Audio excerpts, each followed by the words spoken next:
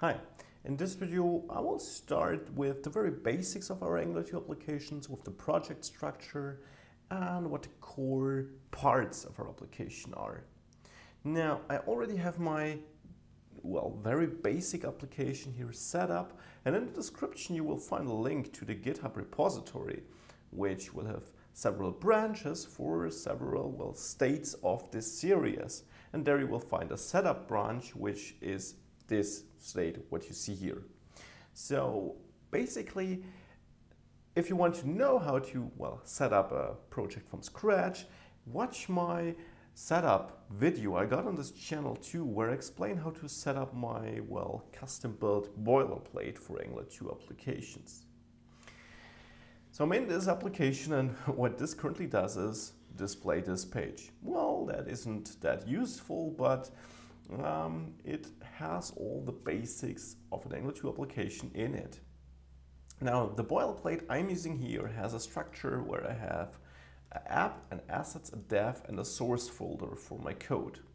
Source and app will hold the compiled code, so TypeScript compiled to JavaScript, and SCSS compiled to CSS.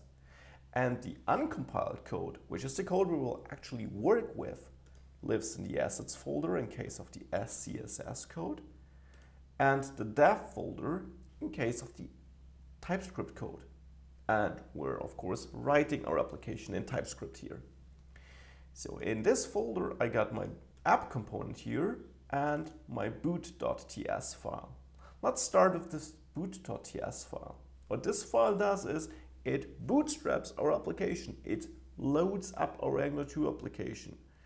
This is the part where everything starts and we need this application, we need this file and this bootstrap method here specifically for everything to work. Otherwise we wouldn't have anything, any application.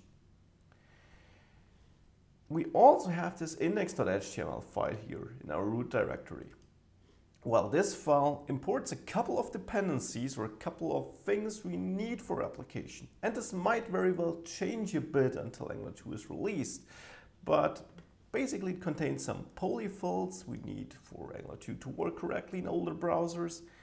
It contains Angular 2 itself, as well as the router and the HTTP module, because we're going to use this and it also contains RxJS, which are our, observables, and system.js, which is just our, well, loader, which will load the components or the JavaScript files we need for the current page to render correctly. System.js is set up here in this script part here, where we basically define the root folder app where all our JavaScript files will live in, and that it should start with the app boot file, the bootstrap file, to load up our application. This is the structure we have. Now, I also said we have this app component. And here is a key part, a component. Angular 2 applications are made up of components. Angular 2 embraces the web components standard.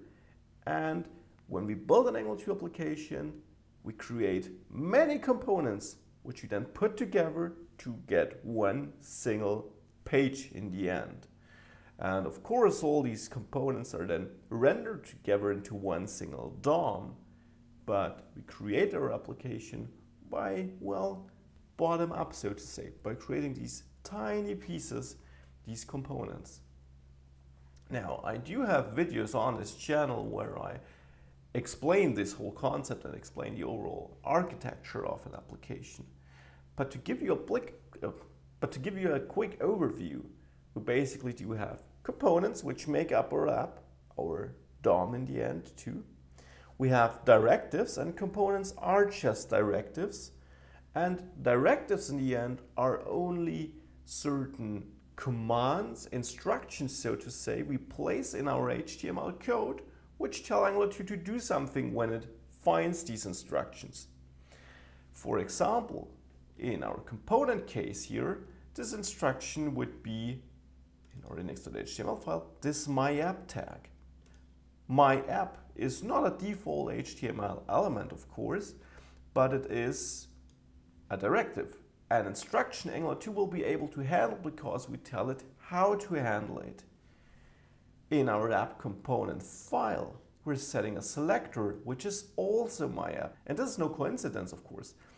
By setting up my app as a selector here, Angular 2 is able to render whatever we define here in the template of our component in this place here, where we set up or where we place this custom-made component by placing this instruction, this directive here, my app, which is, as I said, found by Angular 2, matched as we have set it up here as a selector, and then it renders whatever we specify here as a template.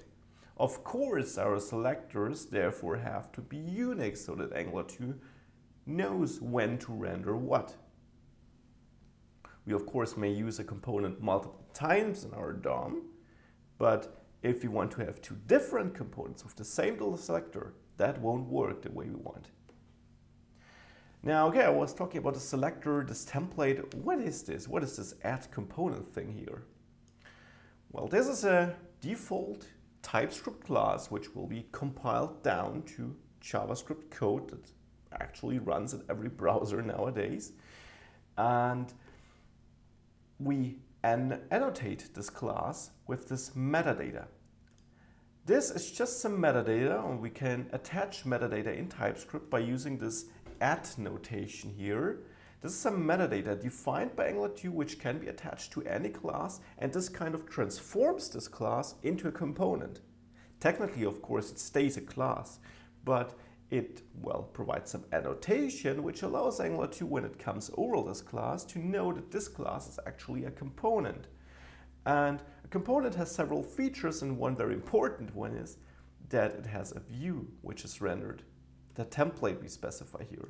This is what will actually be rendered to the DOM. And this, this header here is what we're seeing here at the top.